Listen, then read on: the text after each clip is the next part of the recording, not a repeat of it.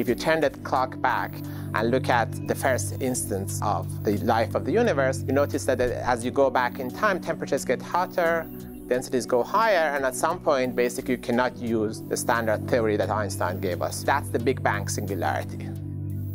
Classical cosmology uh, could describe everything up to the, like back to that time. And because physics breaks down there, this is the time that really, really we want to know what happens, but we don't have enough tools. We don't have a good theory to describe that. Maybe uh, the Big Bang, as we think about it as a singularity in our past, is not really there, but rather a mirage of something more complicated, something that uh, actually happened in one higher dimension. We found that, okay, we can interpret this singularity in a different way. At some point, a star dies. A black hole forms in, in four dimensions. This black hole has an event horizon.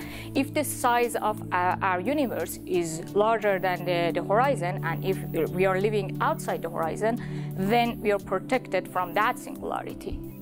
If you have a star that collapses, and out of the remnant of that collapsing star in a four-dimensional universe, a membrane emerges, uh, the properties of that membrane could very well describe the properties of the cosmology in which we live in. And maybe that means that there was no Big Bang. Maybe there was a supernova explosion in one higher dimension. Of course, there would be differences, obviously, but uh, there might be similarities more than anybody might have imagined.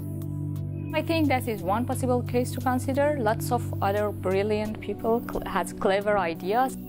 What I love about cosmology is, uh, is asking big questions, and you can try to answer them as ambitious it may sound. I'm still not happy. I want to know more. I want to know what's beyond the Big Bang, what happened before that. So we just try to look back as far as we can, and where we stop, we, we try harder.